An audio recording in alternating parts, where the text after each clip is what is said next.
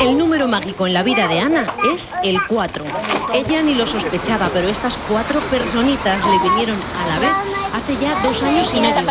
Sí, como lo oyen, a la vez.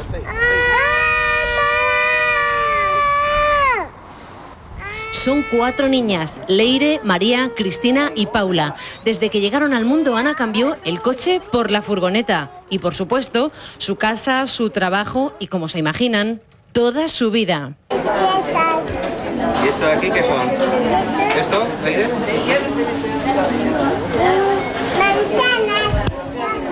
Melocotones.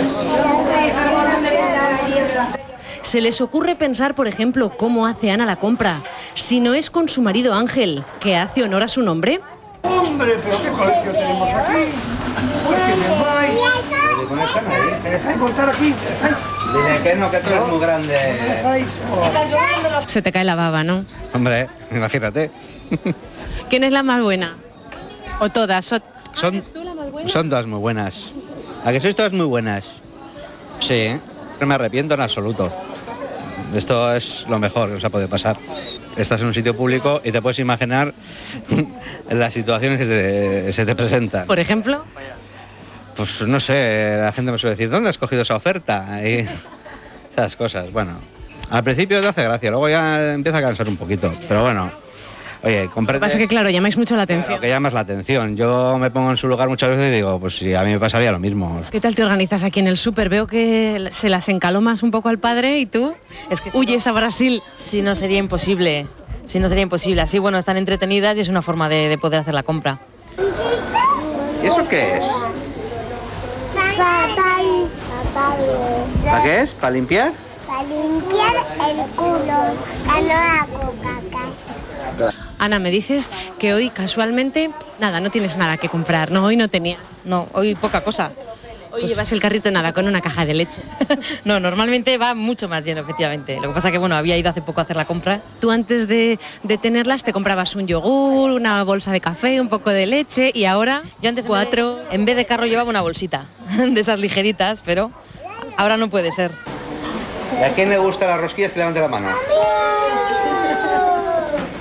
Esta peculiar familia recibe una ayuda del gobierno vasco de 112 euros al mes por hija. También les facilitan una plaza de aparcamiento enfrente de casa y poco más.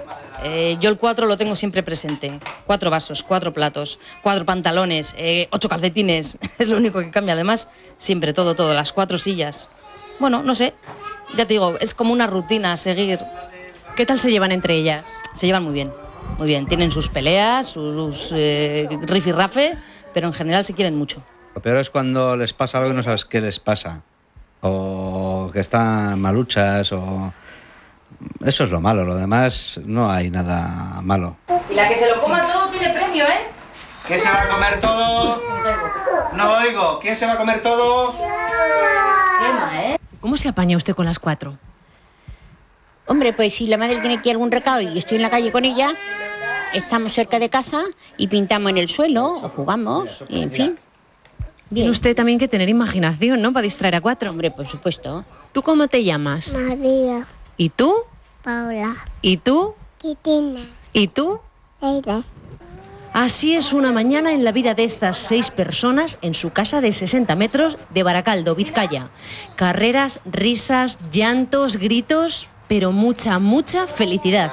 Nos pusimos en contacto con la Asociación de Vizcaya de Abapamu, de partos múltiples. Y bueno, pues eso, la experiencia de otras madres te explican a seguir unas pautas, que es lo que verdaderamente te ayuda a seguir el día a día, para que no se te haga pesado. Porque necesitas tiempo para ti misma, eh, necesitas atenderlas a ellas, atender tu casa, y eso pues lleva mucho tiempo, porque es todo por cuatro. Durante los nueve meses de su embarazo, a Ana le dijeron que le venían solo tres. Fue en plena cesárea cuando, consciente, escuchó, ¡ostras! Que hay cuatro. Su alivio es que a la hora de la siesta con un cuento se conforman las cuatro. Eso sí, que lo narre Ángel, porque Ana ya no encuentra príncipes azules para todas. Y es que son tan escasos.